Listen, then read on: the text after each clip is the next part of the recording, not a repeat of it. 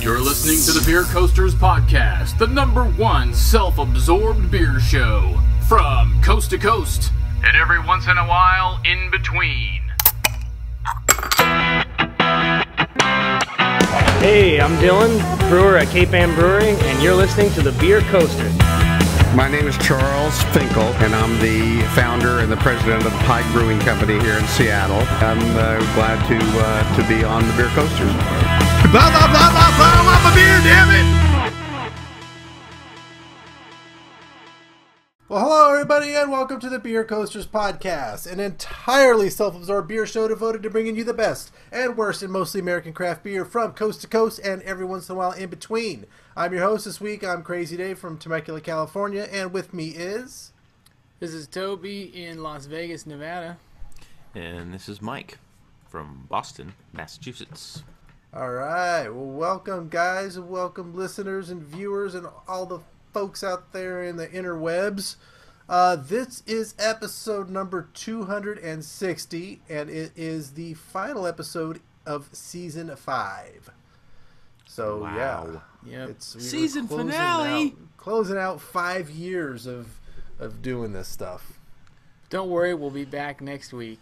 Yeah. There's from- no uh, hiatus. There's no summer hiatus, and we'll be back in the fall. No, this- no. we'll be back next week drinking more beer. I'm giving you, feeding you a whole nother line of bullshit. So Except that it'll be three different guys.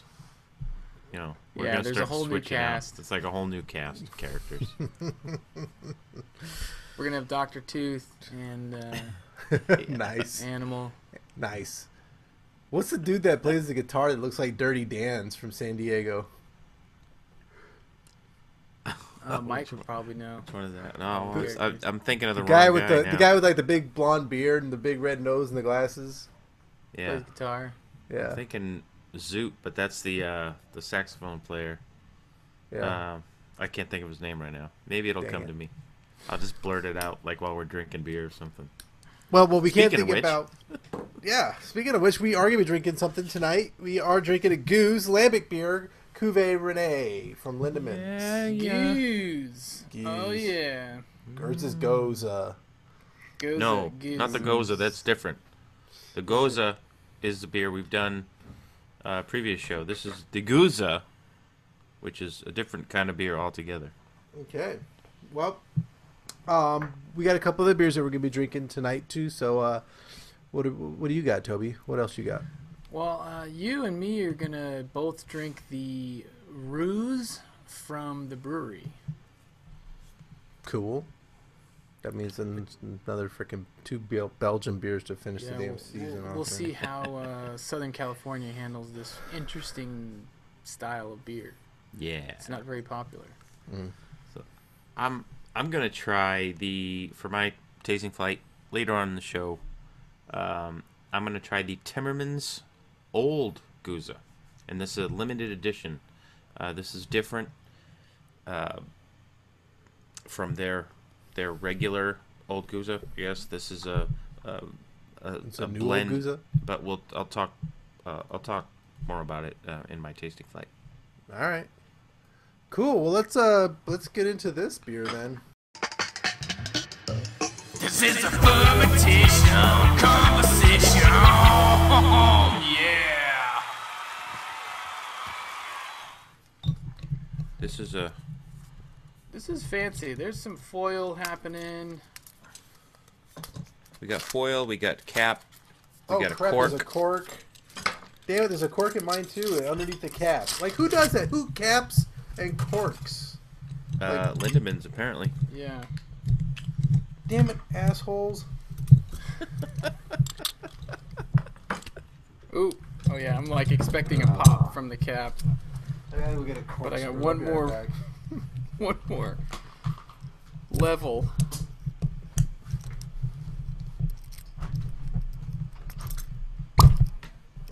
So we're gonna have the the beer jargon guy. He's he's gonna phone in uh, the the Gueuze style. He's gonna explain to us. So you got to listen to uh, the full show this weekend, and you'll hear the beer jargon guy's explanation of this style of beer. Yeah. So it should be interesting. It should be very uh, informative and entertaining. As always, So check back. I'm like sniffing, BeerCoastersPodcast.com. Beer jargon guy in the house. sniffing the cork here. Sniff of the cork. Uh, Should we speak of the proper glassware? well, I'm using. Uh, There we it's go. almost like a, a Belgian fluted, but it's very narrow. So that's that's one I'm using. I guess I should stick my cork in my uh, my craft beer hound. Uh, uh, Yeah. I suppose you could it? do that with corks, beer corks. I think Sure that's can. legal. put that in bo- bottle cap uh, thing. I don't. I've- I don't I'm think. sure that I don't think that voids your allow warranty. All right. Let's pour As long as they're not wine corks, I'm sure it's okay.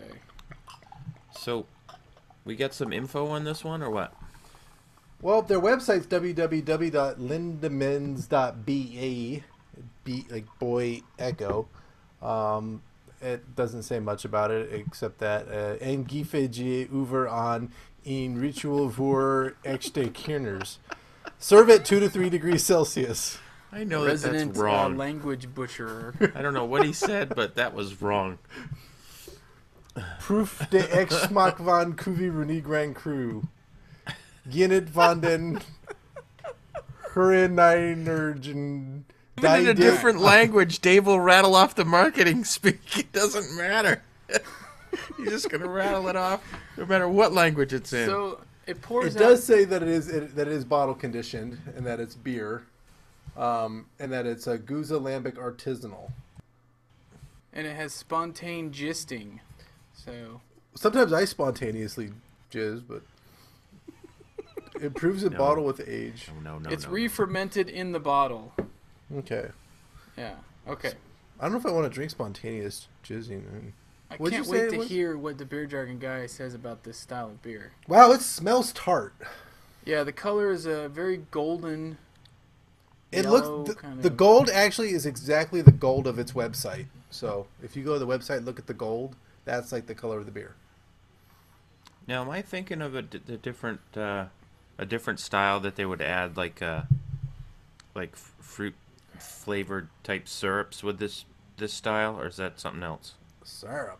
That's the uh, Berliner Weiss Oh, okay. that they would add a, a syrup to it. I prefer syrup. But yeah, it does. It smells sour. It smells tart.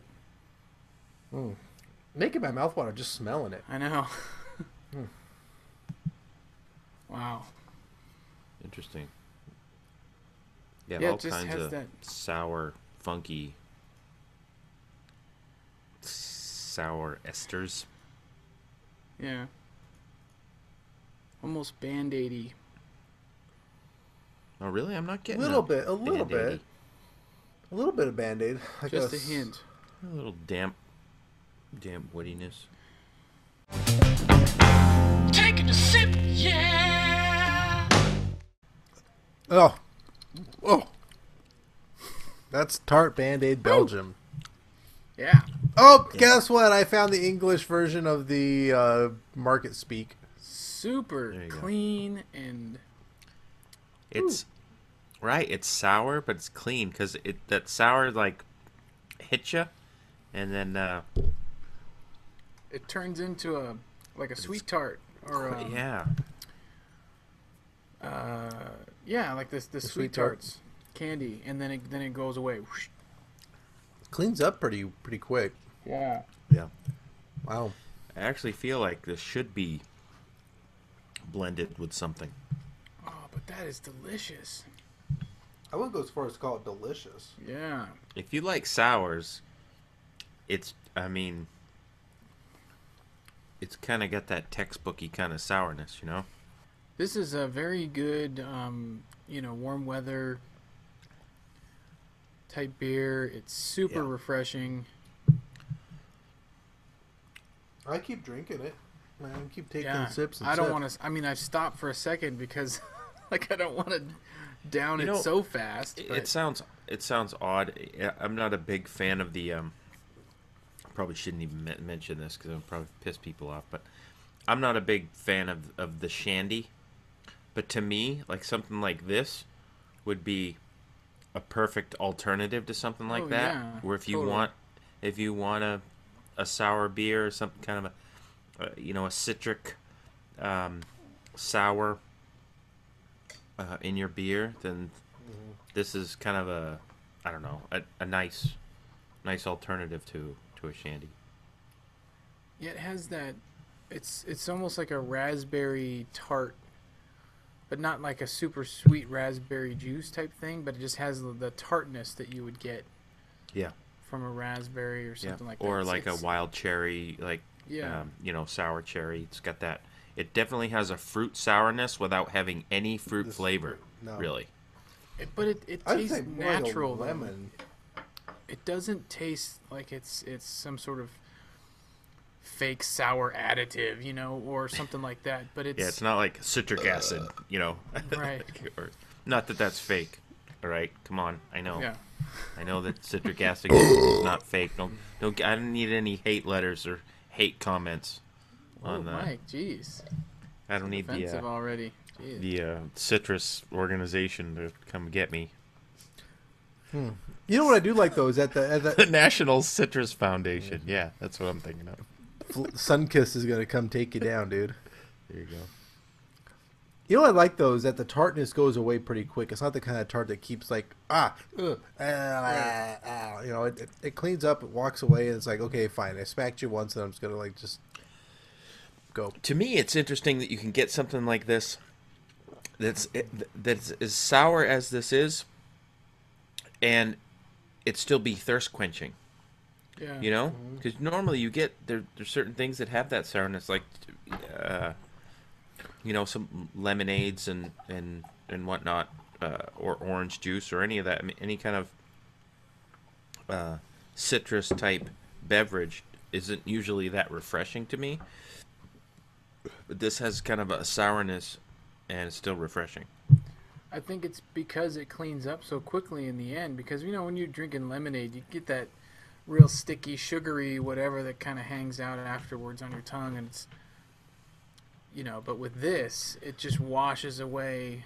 so quickly that you're ready for another sip, and it's But it not leaves you with a little bit of dirtiness. It makes you want to drink some more.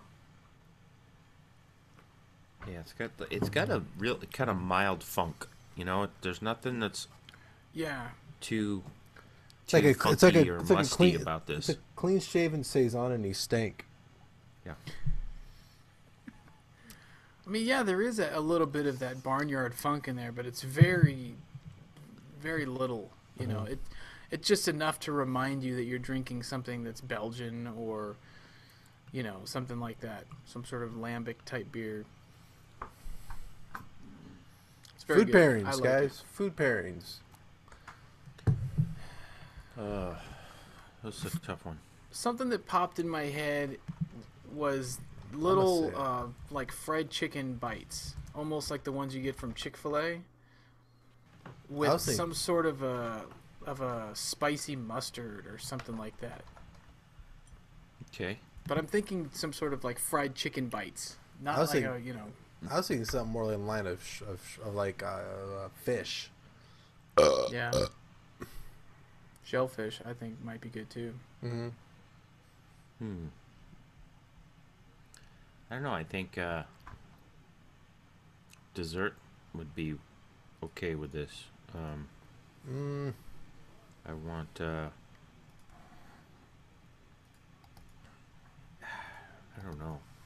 Maybe not dessert, but I, I kind of want fruit to go with it. Like I want a fruit flavor that would complement this. Like I feel like this should have some kind of like lean towards something. Now, whether I maybe have fresh raspberries with something like this, or like a, a, a raspberry a cheesecake or something like that, possibly.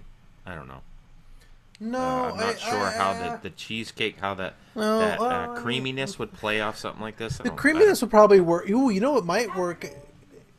What might work is the um, is is something like clam chowder or something, where it has uh, you know, where it's got you know some creaminess and some fishiness and stuff.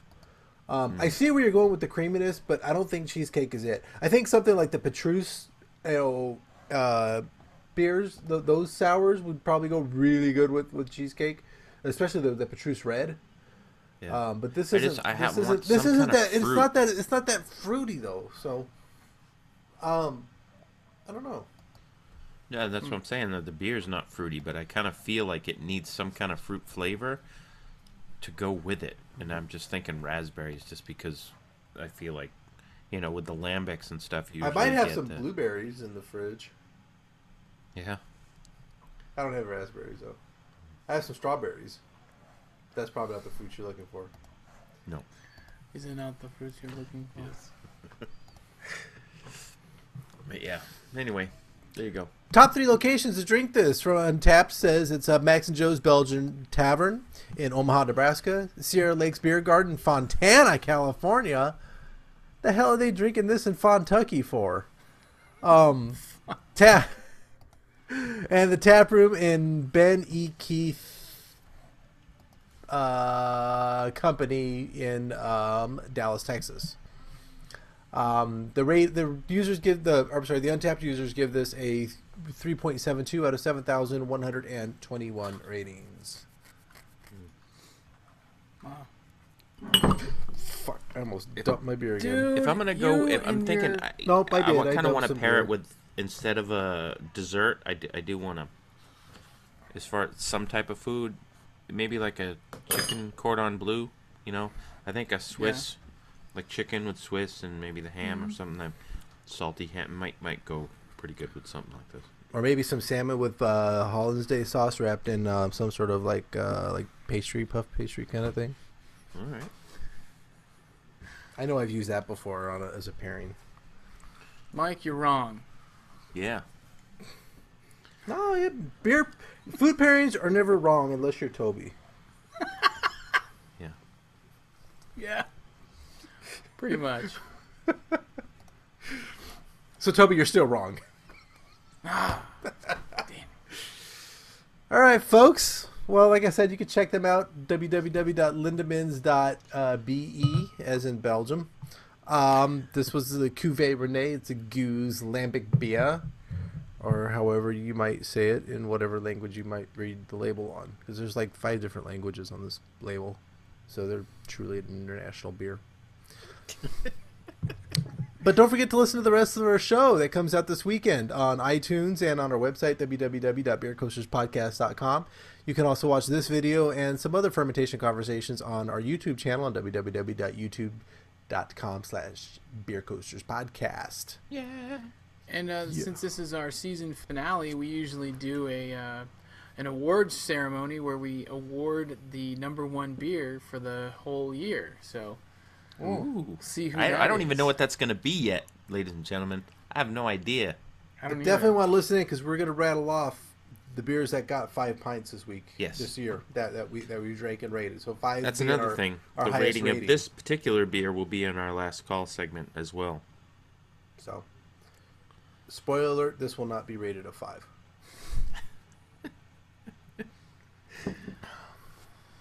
Well, so All right. you don't even bother listening to the show then. Eh, Forget it. that's it. But I mean, it could be a three, Shut it it could off. be a That's two, it. it could be a four, it could be a four and a half, it could be a I'm outta deuce, here. The one. So goodbye, Mike. Well, the rest of you guys want to stick around?